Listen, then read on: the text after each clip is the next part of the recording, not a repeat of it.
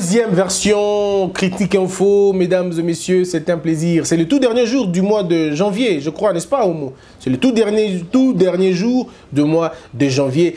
Demain, la Mouka va faire son, son meeting. Oui, ce sera le meeting de vérité des urnes. Martin Fayoulou va s'adresser à la nation congolaise, à ses électeurs, mais surtout à l'opinion internationale aussi.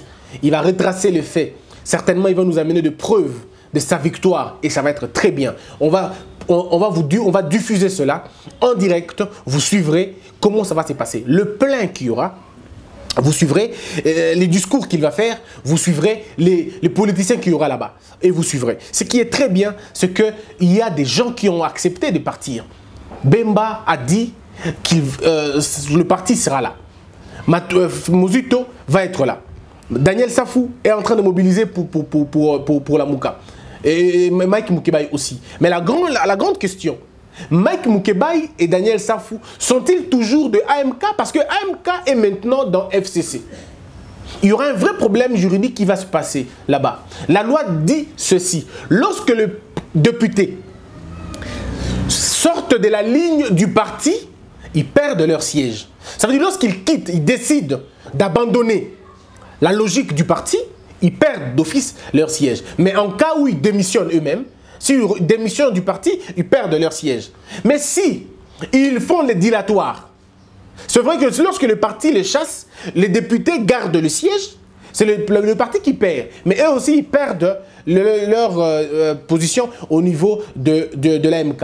Est-ce que l'AMK va poursuivre Daniel Safou et, et Mike Moukebaï, je veux dire pas, en justice, mais est-ce qu'ils vont le poursuivre dans les cours ou dans la discipline du parti? Et là encore, on pose une question. Est-ce que Daniel Safou et Mike Moukebaï étaient des militants de ce parti-là ou ils étaient là justement pour des raisons de quota?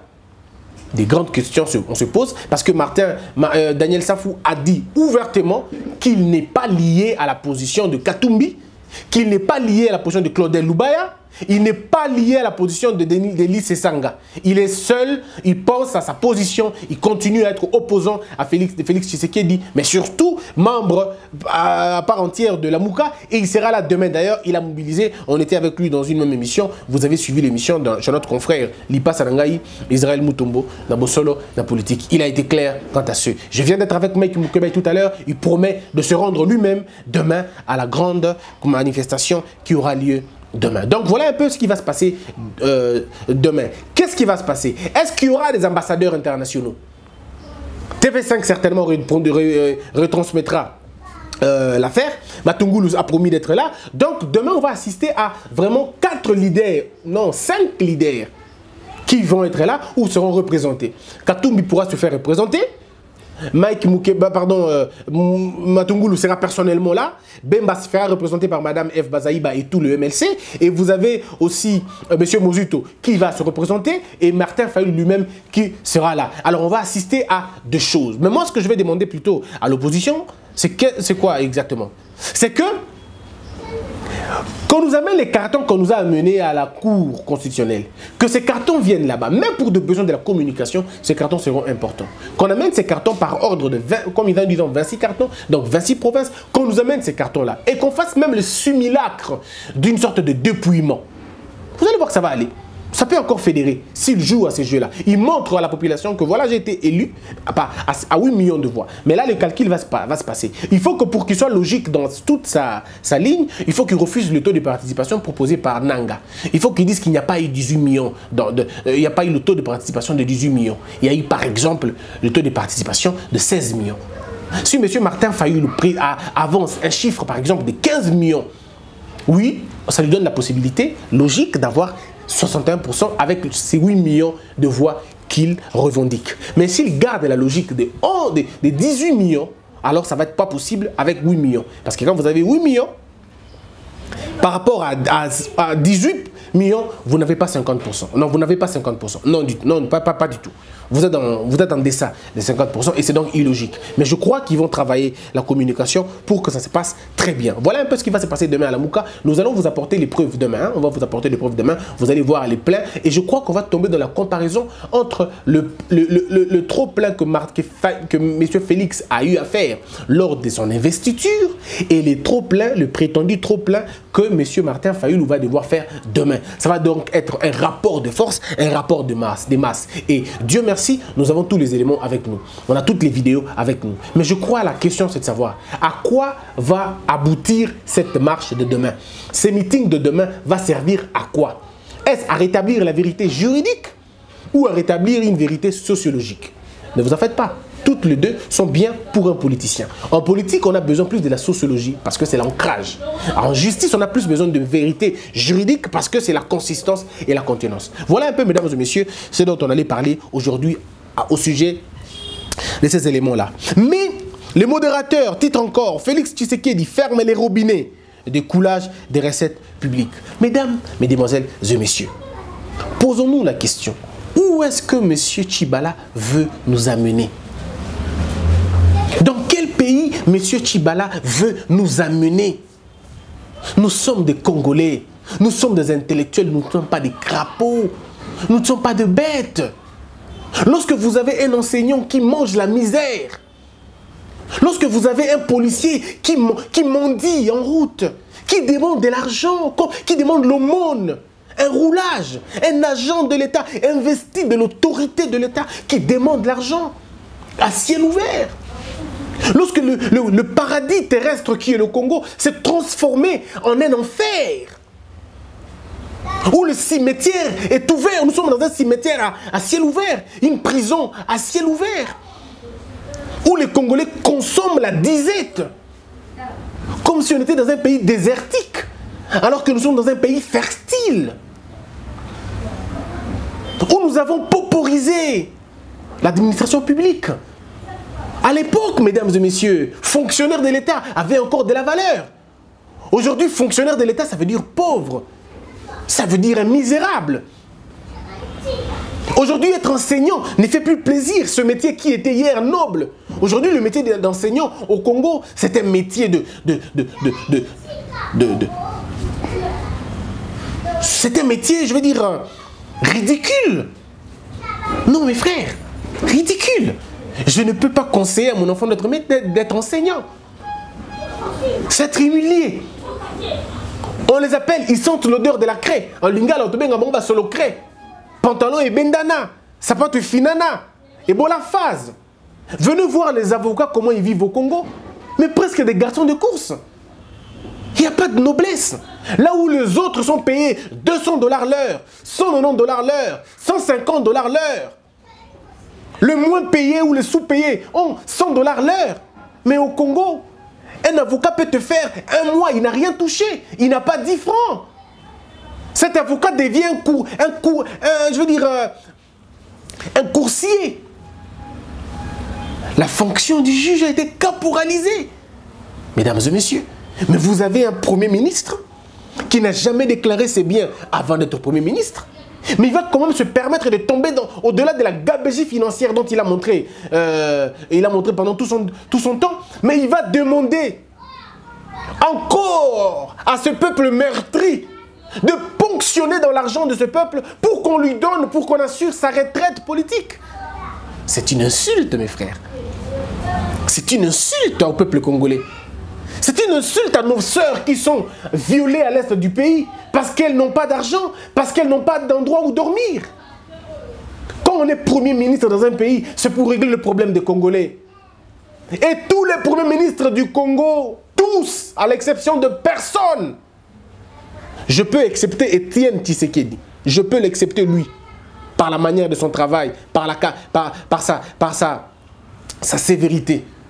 Je rappelle ici que cet homme qui est décédé aujourd'hui, disait un jour, tout celui qui connaît avoir pris l'argent de l'État, avoir pris un bien de l'État, qu'il remette ça à la qu'il remette ça à l'État.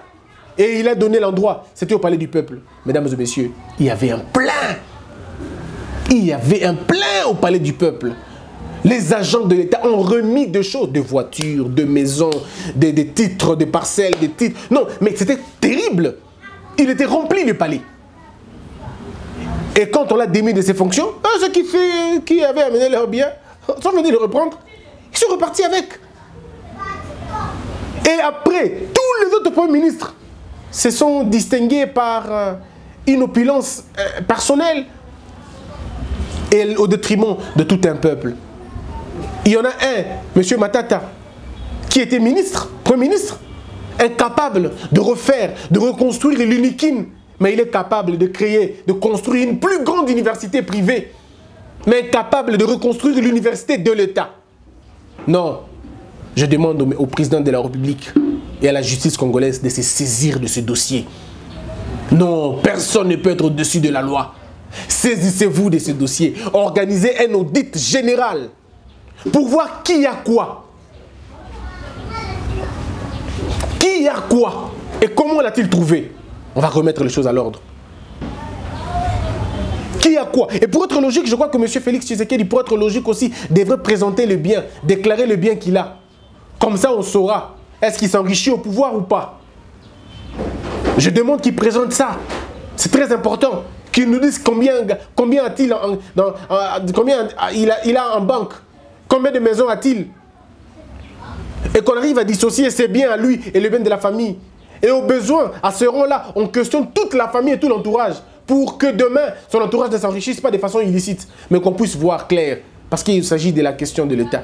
Mais voilà que M. Chibala revient comme ça un bon matin. Il dit non, il faut qu'on accorde, accorde euh, des privilèges aux, aux, anciens membres du gouvernement. Est-ce que vous savez ce que ça veut dire? Pourquoi c'est moi ce gouvernement? Pourquoi pas le gouvernement passé? Et si on doit donner à tous les gouvernements, à tous les gouvernements, à tous les autres, c'est que ça va, mais ça coûtera quoi à l'État? Ça coûtera beaucoup à l'État on ne pourra plus repartir. Ce pays où il y a des grognes, où il y a des grèves, parce qu'il y a des gens qui ont fait 10 ans impayés, 6 mois impayés, 9 mois impayés, 19 mois impayés. Mais voilà là où le Premier ministre se préoccupe. Qu'on nous donne notre argent, qu'on donne notre argent. Et ce peuple-là qui pleure, qui crie, qui n'a jamais été payé, pourquoi vous ne payez pas ces gens-là? En tant que Premier ministre, même moralement, même moralement, même en éthique, ça doit vous faire honte. Vous devez avoir honte. Je le dis à tout risque possible, mais vous devez avoir honte. Moi, à votre place, je demanderai pardon à l'État congolais. Au lieu d'être Premier ministre, vous avez été un, assistant électoral. Non, c'est une honte quand on est Premier ministre de parler de, parler de nourriture, quoi. De parler de... Non, non, mes frères, non. C'est pas possible. Et nous devons refuser ça. Et je demande au président de la République et même au gouvernement qui va être installé dans peu de temps, annuler ces mesures incendiaires et provocatrices. Des mesures à, à, vocation de détruire un pays, de mettre le feu, d'embraser le feu, d'embraser le pays, pardon. C'est pas bien. Il faut arrêter cela. Il faut arrêter ça. C'est pourquoi il faut que, comme on dit ici, la lutte contre la fraude et la corruption, il faut lutter contre la fraude et la corruption. Congo Nouveau dit, Ojefrem, Patience Sabia, Saïba, pardon, a défié Félix Tshisekedi. Le FCC craint la nomination d'un informateur par Fachi. MLC Jean-Pierre Bemba renouvelle son soutien à Martin Fayoulou. Oui, je le dis.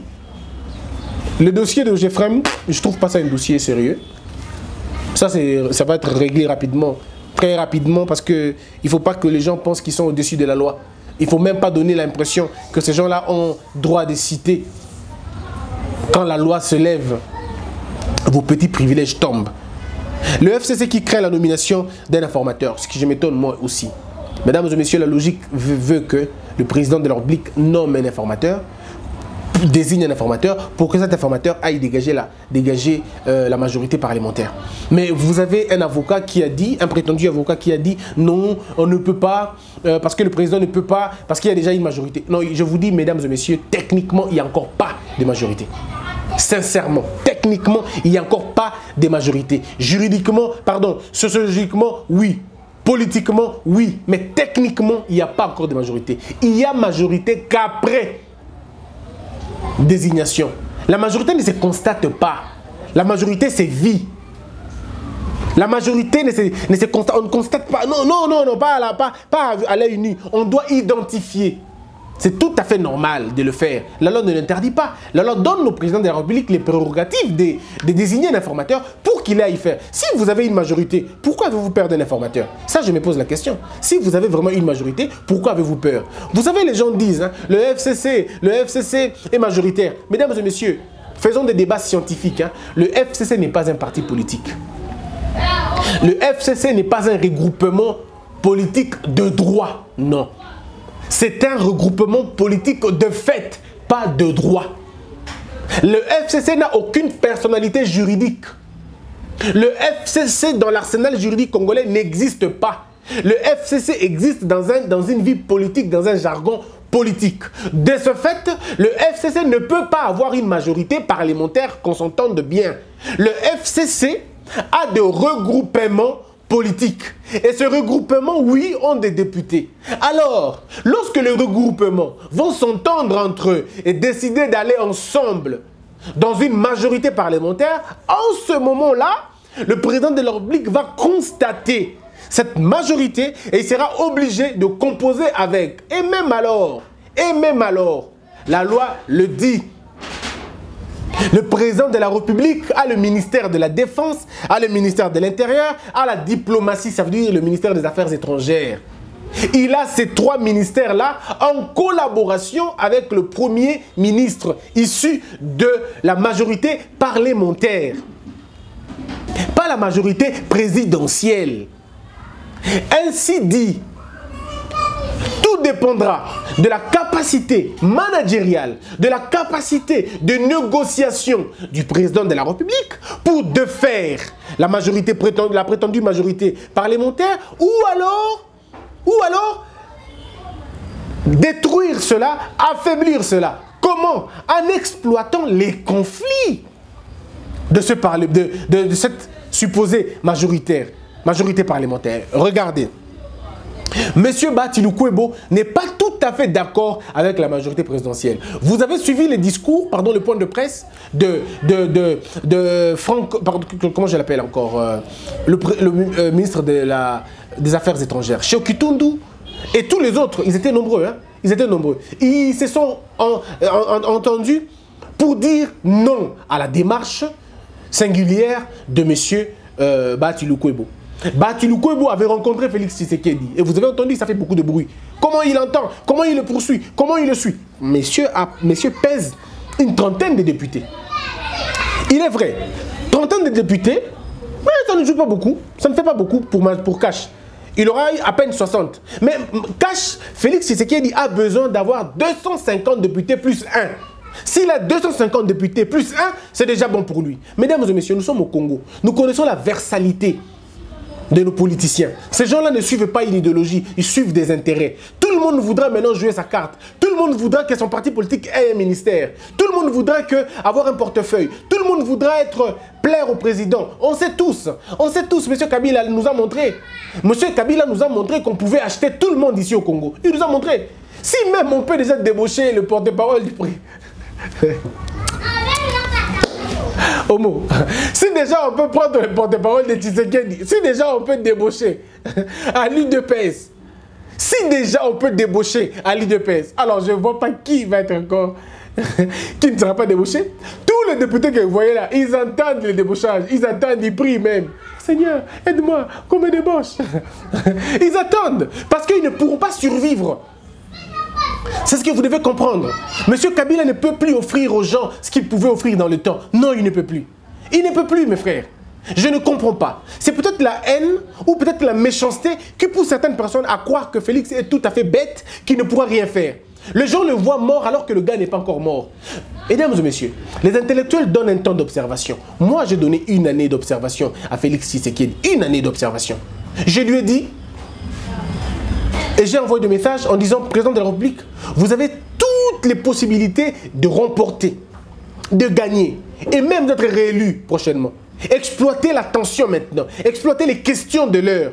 Vous avez la possibilité avec vous de réussir, mais il vous faut une bonne équipe. Il vous faut une bonne équipe. Faites-vous entourer des bonnes personnes, des gens qui voient loin, des gens qui sont capables de voir 2023 aujourd'hui.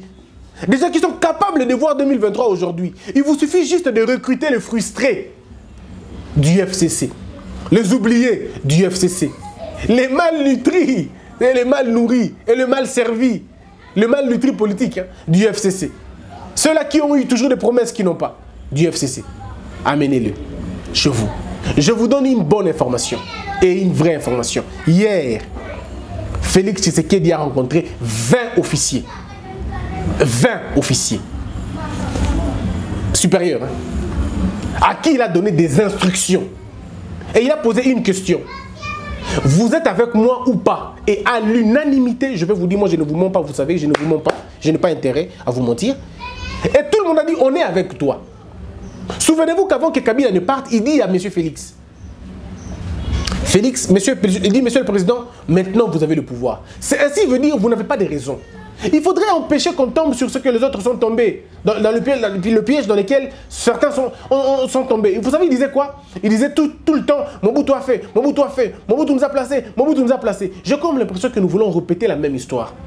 Kabila, Kabila, on le voit même là où il n'est pas là. Kabila, Kabila. Si on ne fait pas ça, c'est Kabila. Si on ne réussit pas, c'est Kabila. Il est partout. Ne donnez pas ses prétextes. Parce que quand vous êtes en train de le faire, c'est que vous ne savez pas, vous êtes en train de donner à Félix la position de s'excuser. Parce qu'il va toujours revenir sur, là, sur ça. Je n'ai pas pu parce que Kabila était là. Je n'ai pas pu parce que Kabila était là. Et à ce moment-là, vous direz quoi? Vous diriez quoi? Vous diriez non, il était là, mais c'était vous le président. Mais maintenant, quand il est le président, vous dites que non, Kabila est là. Quand lui va commencer à utiliser ces exemples-là, vous direz non, non, vous êtes président. Mes frères et sœurs, ne prêtons pas à Félix des béquilles. Laissons-le travailler. Nous restons vigilants. Regardons. Observons. S'il échoue, on dira, monsieur, vous avez échoué et nous, nous allons trouver un autre mécanisme. Nous, n'allons pas nous fatiguer à dénoncer. On ne se fatiguera pas à dénoncer. Voilà pourquoi je vous invite voilà pourquoi je vous invite, mesdames et messieurs, à une vigilance. Donc j'aimerais dire aux Congolais que il faudrait pas que le FCC craigne la nomination d'un informateur. Si vous êtes si majoritaire que ça, laissez-le euh, nommer son informateur. Et puis vous allez voir si vous allez tenir. Parce que bon, on a que ceux qui sont informateurs, les kiwana. Tout le monde a des problèmes en justice. Et ils ont peur. Ils ont peur. Ils ont très, très, très peur.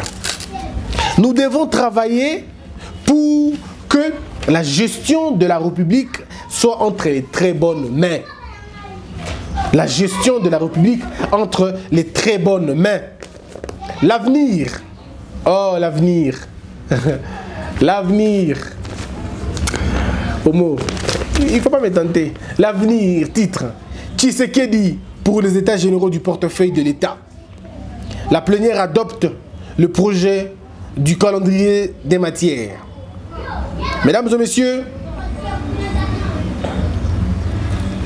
la plénière, euh, pardon, Tshisekedi pour les états généraux du portefeuille. Nous avons longtemps vécu dans un régime de, de, de je veux dire, d'irresponsabilité, où personne ne rendait de compte à personne. Nous devons faire un audit général de cette République.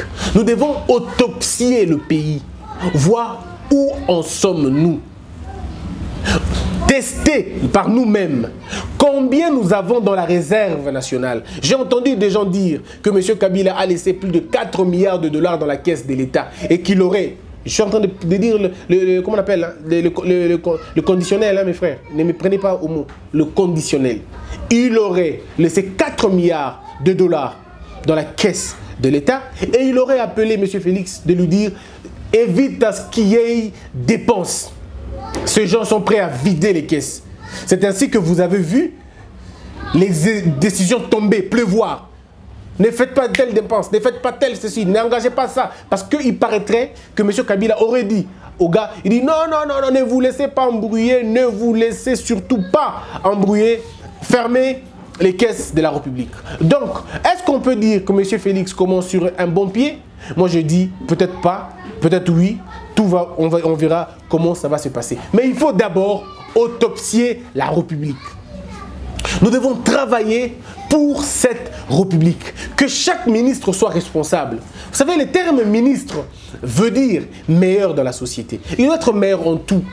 Voilà pourquoi le premier gouvernement de Félix doit être un gouvernement nouveau, où nous voulons trouver des nouvelles énergies. Pas des anciens ministres qui, et puis heureusement il avait dit, pas des gens qui ont été impliqués dans la mégestion.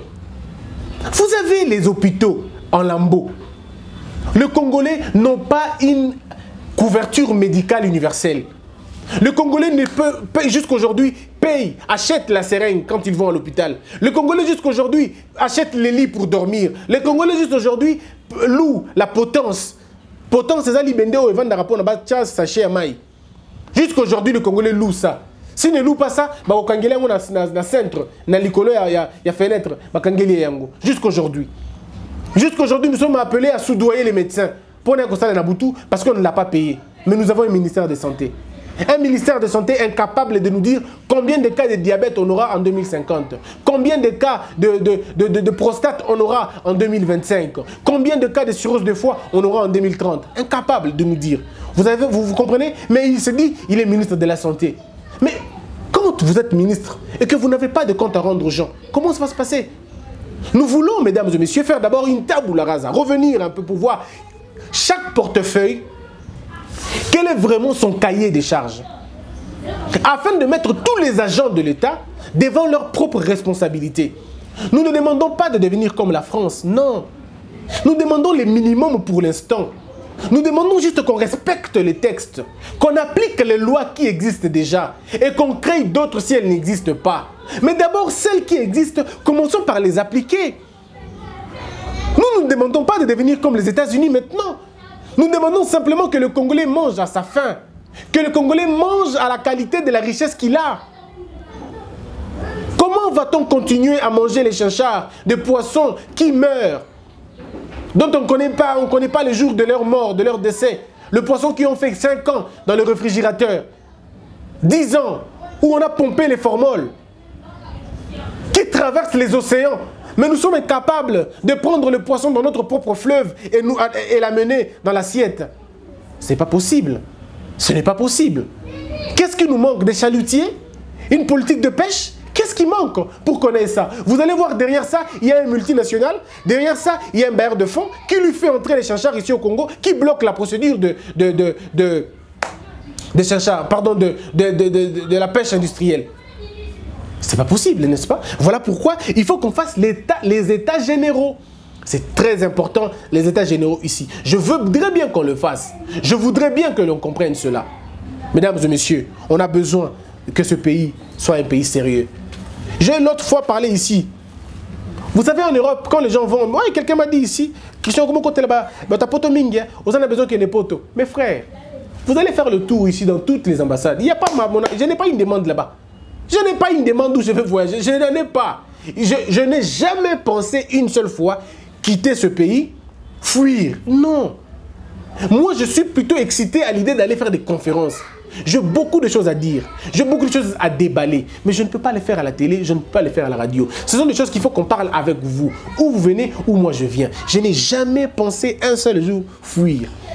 Quelqu'un m'a dit, mais euh, il m'a appelé, non, Mawa, tu as dit dans une émission qu'on nous pototer. Non, je n'ai pas fait une plainte. Écoutez, qu'on s'entende. Je n'ai pas fait une plainte. Je n'ai pas demandé un voyage. Oh, non, pas du tout. Pas du tout. Seulement que ce n'est pas dans mes prérogatives. Non, pas du tout. Je comprends pourquoi ceux qui sont en Europe se fâchent. Ceux qui sont en Europe se fâchent pourquoi? C'est que quand ils, le matin, ils mangent, ils se posent une question. Est-ce que mes frères au Congo ont aussi mangé? Quand il circule, il, prend un train, il va d'un coin à un autre. Il, il se rend compte que Batou Batonga train. Ceux qui ont construit ces trains sont des hommes. Mais quand ils regardent les hommes politiques au Congo ne font qu'envoyer leurs enfants là-bas et qu'ils laissent le pays dans la disette, ça énerve. Voilà pourquoi les, nos amis en Europe se fâchent. Voilà pourquoi un monsieur comme Boketu Premier se fâche à un moment donné, il va même vous insulter. Parce qu'on ne peut pas imaginer que les gens, les autorités d'un pays s'enrichissent au détriment d'un peuple. C'est immoral et inhumain. Quand un ministre tombe malade, il va se faire soigner en Europe. Mais quand le peuple tombe malade, il va dans un hôpital mouroir et il meurt là-bas. Oh Mais si on était unis par le même sort, ça veut dire qu'on a les mêmes hôpitaux, on va dans les mêmes hôpitaux. Personne ne mourrait là-bas parce que les ministres allaient mettre les hôpitaux au standing de l'extérieur. Je me pose toujours une question et je vous la pose. Chère autorité, chers gouvernants, et même vous qui êtes en Europe, les enfants des ministres, les frères des ministres, les copines des ministres, je vous pose une question. Est-ce que vous avez de l'âme? Est-ce que vous avez l'âme que nous avons? Comment faites-vous pour avaler le lait? Vous avalez le lait quand les autres boivent la poussière.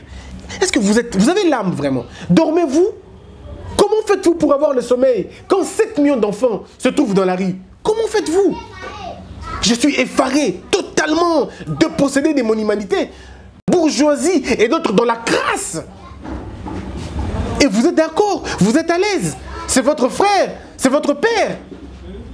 Au Congo, les gens ne meurent pas parce qu'ils sont très malades. Au Congo, les gens meurent parce qu'il y a des erreurs médicales qui se commettent de jour au jour. Vous avez donné les diplômes aux voyous, aux bandits, aux gens qui n'ont aucun qualificatif, mais vous leur avez donné le diplôme parce qu'ils ont acheté le diplôme. Vous devez tourner le dos à votre science. Quand vous tombez malade, regardez comment vous fouillez. Mbangu na poto. Mot de tête mbangu na poto. Les médecins ont horreur. Le, les ministres congolais, ils ont horreur d'être soignés par les Congolais. Ils disent qu'ils sont incapables, incompétents. Mais pourquoi ils sont-ils incapables? Pourquoi sont-ils incompétents? Soyons gentils, soyons patriotes. Aimons-nous, mes frères. Aimons-nous. Aimons-nous. Aimons ce pays. Ce pays a besoin d'un leadership fort. Ce pays a besoin des hommes intègres. Ce pays a besoin des hommes sérieux, de patriotes, des hommes qui feront passer leurs intérêts après ceux du peuple. Des gens qui vont construire des routes sur lesquelles ils ne traverseront même pas. Des gens qui vont bâtir des hôpitaux dans lesquels ils ne viendront même pas. Je suis d'accord avec ces gens-là. Des hommes qui vont créer des écoles où ils savent que leurs enfants n'étudieront même pas. Mais pour l'intérêt supérieur de la nation, pour l'intérêt général de tout le monde, on envoie les gens à l'école, les enfants à l'école, les gens vont circuler dans les routes. Si au Congo les gens s'intéressent à la politique, c'est parce que les gens ont faim. C'est parce que les gens ont faim. Voilà pourquoi tout le monde fait la politique. Moi, si tout était bien, peut-être je ne serais pas en train de faire la politique. Je serais certainement dans mes émissions d'éducation, dans mes émissions de civisme. Je serais là-bas. Que Dieu bénisse ce pays. Que Dieu bénisse ses enfants. Ceux qui travaillent pour ce pays. Que Dieu nous bénisse. Un jour, Dieu nous posera la question. Qu'avez-vous fait de ce pays que je vous ai donné? Un jour, d'autres seront sanctionnés par leur silence. D'autres seront sanctionnés par leur méchanceté. D'autres seront sanctionnés par leur inaction. Que Dieu vous bénisse tous, mesdames et messieurs. On se retrouve très prochainement, déjà demain. Et là, autre, un autre numéro de Bongwana. Moi, je vous aime beaucoup, vous savez. Je vous aime beaucoup. Et je fais ce boulot pour vous. N'hésitez pas de me corriger. N'hésitez pas de me porter des corrections. Je suis très ouvert. Je ne connais pas plus que tout le monde. Il y a des gens qui connaissent mieux que moi. Ils sont très nombreux, mais ils n'ont pas la possibilité de passer à la télévision comme ça. Moi, j'ai cette possibilité de passer, mais je ne connais pas tout. Ce que j'ignore est plus important que ce que je connais. Voilà pourquoi j'ai besoin de vous pour qu'on s'entraide. Si tu connais mieux que moi, donne-moi ces idées-là. Que je sois ta bouche. Donne-moi ces idées-là. Je le mettrai ici. Que Dieu vous bénisse. Qu'il nous bénisse aussi. L'amour est en Dieu, Dieu est amour, paix dans le monde. Que la peur quitte nos esprits et que Dieu bénisse l'air RDC.